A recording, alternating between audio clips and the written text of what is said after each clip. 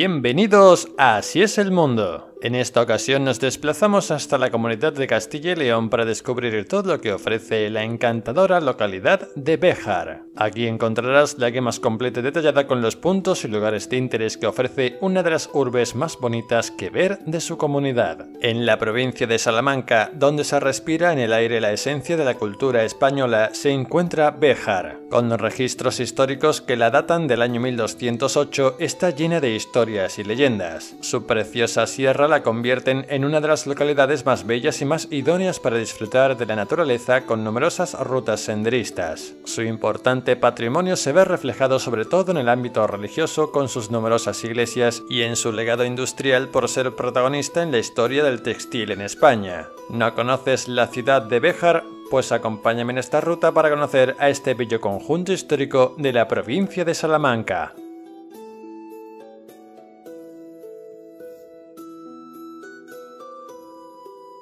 La ruta comienza en todo un remanso de paz y naturaleza. El bosque es un hermoso jardín artístico cuya creación se remonta a la época del Renacimiento, concretamente a mediados del siglo XVI. Fue un encargo especial de los Zúñiga, duques de Béjar. En primera instancia, el jardín se alzó en los terrenos de una propiedad campestre de la familia ducal. Concebido como villa de recreo, dispone de varios edificios, jardines geométricos, terrazas, huertas y espacios abiertos de prados y bosques. Su belleza es magnífica con lagos artificiales o vegetación colorida y variada, todo organizado de manera simétrica.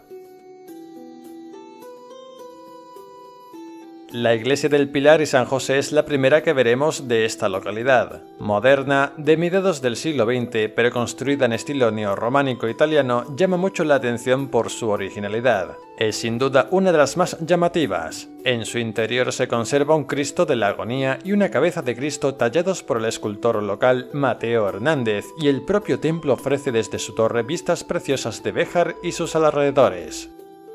Otro lugar perfecto para despejarse, salir a correr o hacer ejercicio es el Parque de la Corredera. Se trata de un pulmón verde ubicado en el centro del pueblo, repleto de árboles, flores, fuentes, un pequeño lago y un templete donde la banda de música municipal ofrece espectáculos. Si tu visita a Béjar coincide con el verano encontrarás mucho sol, gente disfrutando de los juegos y buen ambiente.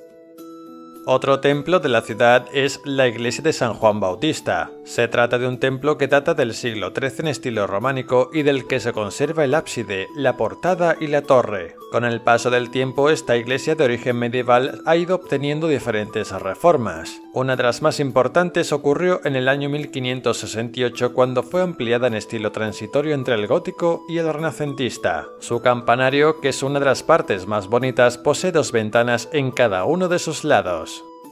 El Centro de Cultura San Francisco resulta un lugar especial en el que se respira paz y sosiego. Funciona en la sede de lo que fue el antiguo convento de San Francisco. Este convento fue uno de los primeros que los franciscanos levantaron en esta comarca ya por el siglo XIII y tuvo en sus orígenes adosada una gran iglesia que fue reformada a instancias de los duques de Béjar en la segunda mitad del siglo XVI. El patio lo ocupa una fuente y un magnolio en uno de sus ángulos. Actualmente este convento alberga, entre otras cosas, el Museo Legado de Valeriano Salas, coleccionista bejarano del siglo XIX. En él hay una sala con un maravilloso conjunto de botes de farmacia de estilo francés de finales del siglo XIX. Se exponen tal y como estuvieron en la Botica La Bola, una de las 100 farmacias más antiguas de España.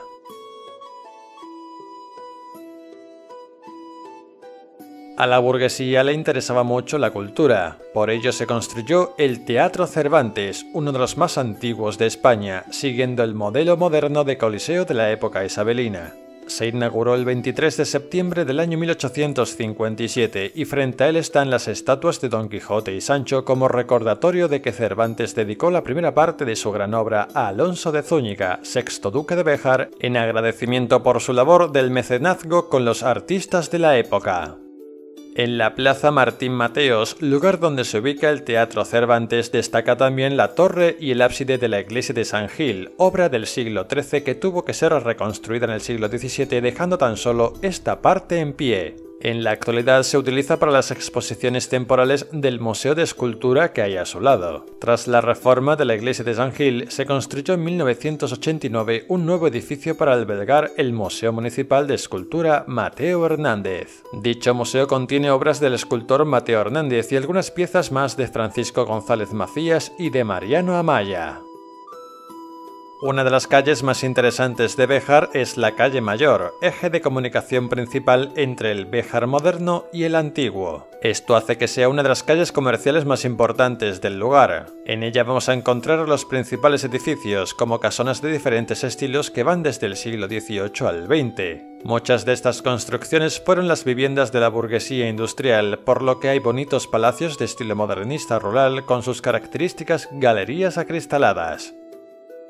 Esta calle nos lleva hasta la Plaza Mayor. Sin duda es uno de los sitios más representativos de la ciudad y que nos hará ver que no es casualidad que haya sido declarada conjunto histórico-artístico. Rodeada parcialmente de edificios porticados, aquí se pueden ver algunas de las construcciones más importantes de la ciudad, como es el caso del Ayuntamiento, un edificio que data del siglo XVI y que es principalmente de estilo renacentista. Antes de albergar la casa consistorial, sirvió como cárcel, así como alhóndiga de dos plantas cuenta con cinco arcos en cada una de ellas. También se puede ver en esta plaza la iglesia del Salvador, construida a principios del siglo XIII en estilo gótico. En su exterior, de grandes sillares de granito, destaca el ábside, el campanario y las portadas de acceso al interior. El templo se amplió en el siglo XVI, pero en 1936 fue quemada perdiendo la mayor parte de su artesonado. De lo que queda de su patrimonio destaca el Cristo de las Victorias del artista bejarano Francisco González Macías y su púlpito de trono renacentista. El castillo Palacio Ducal fue una antigua fortaleza de defensa de la ciudad. Parece ser que fue edificada junto con las murallas de la ciudad en la repoblación cristiana de la urbe. Fue mandada a rehabilitar por el duque de Béjar don Alonso Diego López de Zúñiga y Sotomayor, conservando su carácter defensivo. Es de planta cuadrada con cuatro torres en las esquinas, aunque una de ellas desapareció por un incendio causado por un rayo en el siglo XVIII. Durante años el castillo fue sufriendo diferentes reformas y adaptaciones a gusto de su dueño. Con Francisco II, en el siglo XVI el castillo adopta su forma palaciega, con portada de ingreso por una plaza que ya no existe. En su interior se abre un bello patio plateresco con la fuente de la Venera. En una de sus torres hay una cámara oscura, un sistema de observación de Leonardo da Vinci que encantará a grandes y pequeños.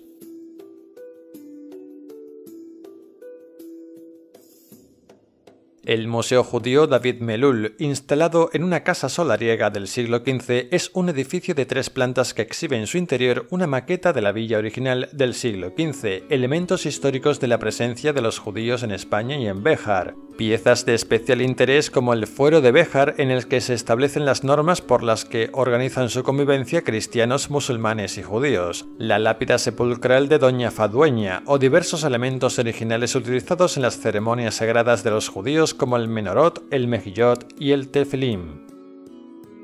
Otro templo imprescindible que ver aquí es la iglesia de Santa María la Mayor. Sus orígenes son de la repoblación de finales del siglo XII y posee un estilo protogótico. De esta época se conserva su ábside mudéjar y la base de la torre campanario. En 1568 se eleva la torre y se agranda, por lo que se le añadieron los contrafuertes en los que se pueden ver los escudos de los Zúñiga, mecenas de la obra. En su interior se conservan bellísimos retablos y muchas tallas de interés.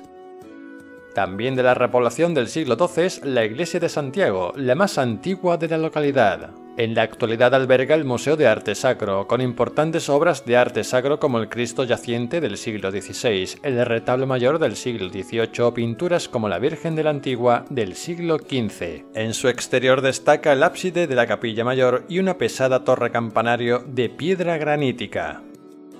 Ricardo Martín Vázquez es el autor del particular monumento Hombre de Musgo. Toda una leyenda se mueve en torno al protagonista de esta escultura. Se dice que en la Edad Media, cuando los árabes eran dueños y señores de la ciudad, los cristianos no podían entrar en ella y mucho menos moverse libremente. El ingenio imperó entonces, se recubrieron de musgo y avanzaron lentamente confundiéndose con arbustos, manera con la que lograron sitiar la ciudad. En el Parque de la Antigua se encuentra la muralla de la ciudad. Fue construida por los árabes para proteger la Alcazaba, situada donde actualmente se ubica el Palacio Ducal. Rodeaba la ciudad dos murallas paralelas que convergían en el muro donde se abría la Puerta del Pico. El tramo que se conserva posee 470 metros de longitud y se puede recorrer el adarve desde el Parque de la Antigua hasta la Ronda de Viriato. La industria textil está en la columna vertebral de la historia de esta ciudad española. Una de las fábricas a orillas del río Hombre fue adaptada para dar lugar al Museo Industrial Textil de Béjar, un museo en el que encontrarás una impresionante colección de maquinaria ligada a todos los procesos de esta industria, desde el lavado de la lana, su hilado, tinte, tejido y acabado, hasta la elaboración final de diversas prendas que se exhiben en una luminosa sala. Si sigues la ruta de las fábricas textiles de Béjar, te puedes imaginar el sonido de las maquinarias a todo ritmo, los martillos, las planchas y todo aquello que dio vida a la industria textil de la ciudad. A finales del siglo XIX e inicios del XX, la burguesía local apostó sus energías a los textiles. Se empezaron a crear fábricas de paños en toda la orilla del río. Béjar llegó a ser el mayor centro de producción textil del interior peninsular. Aunque hoy lamentablemente las fábricas cerraron sus puertas, aún siguen dándole encanto a Béjar a través de una ruta en la que recorrerás un pasado para rememorar viejas glorias, edificios imponentes y maquinarias de antaño. Y acabamos la visita al sur de Béjar, en Castañar de Béjar. Visitamos primeramente la conocida como La Ancianita, la Plaza de Toros de Béjar. Los recintos donde se realizan las corridas de toros han quedado a lo largo y ancho del país como testimonios de una época. En Béjar encontramos un icono que recoge en su historia la realización de la primera corrida de toros de la que se tiene constancia. Data del año 1667 y su construcción original fue en forma rectangular, pero en 1962 se le hizo una reforma que le dio el aspecto actual.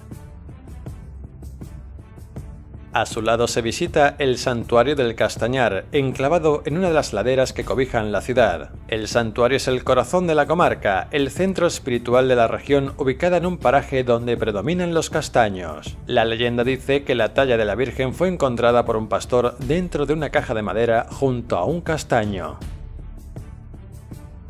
Y hasta aquí llega nuestra visita por todos los puntos y lugares de interés de la ciudad de Béjar, un precioso remanso de paz en tierras salmantinas.